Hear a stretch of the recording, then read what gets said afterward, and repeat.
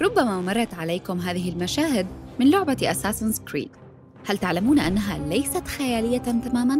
بل هي مستوحاة من قصص حقيقية تحاكي أحداثاً وقعت في منطقتنا في زمن مضى وتستلهم كثيراً من عقيدة الحشاشين التي تعتبر من أخطر الفرق الإسلامية فمن يكون الحشاشون وما أسرارهم؟ الحشاشون مصطلح أطلقه في القرون الوسطى رحالة أوروبيون ومؤرخون مسلمون على فرقة من الطائفة الشيعية الإسماعيلية تعرف بالنزاريين. كلمة أساساً التي أصبحت مرادفة لقاتل اعتبرت مشتقة من حشيشة أو حشاشين، وهي تسمية أطلقت من باب التحقير على النزاريين الإسماعيليين دون دليل يشرح علاقتهم بنبتة الحشيش كما اشتهر عنهم لاحقاً، حيث ادعت بعض الروايات أن أفراد الفرقة كانوا يستخدمونه قبل تنفيذ عملياتهم لكن مراجع ودراسات حديثة تدحض هذا الاشتقاق وترى أن أعداء الفرقة استخدموه لتفسير قدرات الحشاشين واستعدادهم للموت من أجل قضيتهم وصعوبة ثنيهم عن تحقيق أهدافهم. بعض المصادر الغربية تعتبر أن الاسم الأصلي قد يكون الأساسيين بمعنى المخلصين، وأن تشابه اللفظ مع كلمة حشيش هو سبب سوء الفهم لدى الرحالة الأجانب. أدى الحشاشون دورا في تاريخ المنطقة لما يقرب من قرنين من الزمان مع سمعة سيئة ارتبطت بهم بسبب أسلوبهم في تصفية الخصوم. وصفوا بالباطنية واعتبرهم خصومهم زنادقة ومنحرفين وواجهوا ردودا من الشيعة والسنة على حد سواء. ينسب تأسيس فرق الحشاشين لحسن الصباح وهو رجل دين يتمتع حسب مؤرخين بشخصية جذابة مؤثرة وعقل مدبر. ولد في مدينة قم لعائلة شيعية إثنى عشرية ثم تحول إلى الإسماعيلية بعد انتقال عائلته إلى مدينة الري وبايع إمام الإسماعيلية الفاطمي. لكن بعد وفاة المستنصر بالله في مصر وانقسام الإسماعيليين إلى تيارين يتنازعان الخلافة اصطف الصباح مع النزاريين واستغل سمعته في أوساط عديدة لتوسيع قاعدته الشعبية وتحقيق أهدافه.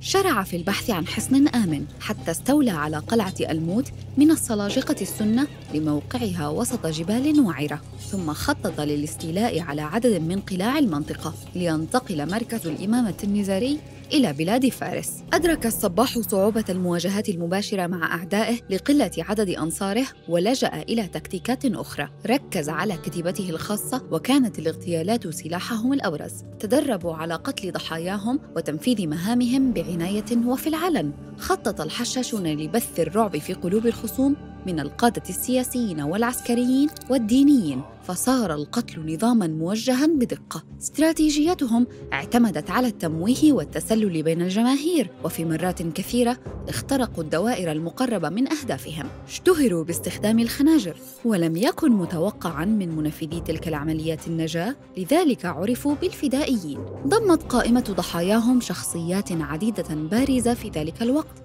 وكانت لهم محاولات لاغتيال القائد صلاح الدين الأيوبي لكنهم فشلوا في النيل منه. كما طالت خناجرهم شخصيات غير مسلمة لكن مصادر تعتبر أنه لم يكن في نيتهم استهداف المسيحيين حيث أشارت إلى وجود اتصالات ودية بين الحشاشين وقوى مسيحية. انتشر نفوذ الفرقة في مناطق مختلفة وتمددوا من معقلهم في فارس نحو الشام حيث اشترى الحشاشون قلعة في حلب. ثم استحوذوا على قلاع أخر في المنطقة. أهمها مصياف بقيادة رشيد الدين سنان المعروف بشيخ الجبل وأصبحت عاصمة الفرع السوري للنزاريين. واجه الحشاشون اتهامات كثيرة من قبيل الابتداع والبعد عن تعاليم الدين وادعاء زعيمهم تلقيه تعليمات من إمام مخفي. تسقط عنهم عبادات وتبيح لهم محرمات. وانتشر الكثير من القصص والحكايات توجت بما نشره عنهم ماركو بولو مضيفا روايته الخاصة عن حديقة الجنة السرية حيث يفترض أن الفدائيين تلقوا جزءا من تدريبهم وكانوا حسب تلك الادعاءات يوهمون بأنهم دخلوا الجنة ولامسوا حقيقتها والتقوا الحور العين.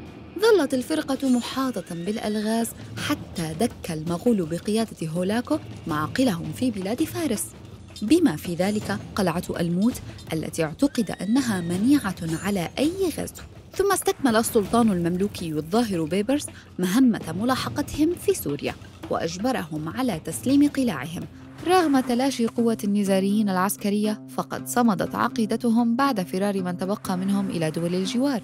وحاليا تنتشر الطائفة في أنحاء مختلفة من العالم. واستمرت الإمامة الإسماعيلية إلى أن وصلت لسلالة آغا خان. ومنها إمامهم الذي يرعى عدة مؤسسات خيرية هل تعرفون فرقاً إسلامية أخرى سجلت حضوراً في تاريخ المنطقة؟ أخبرونا عنها في التعليقات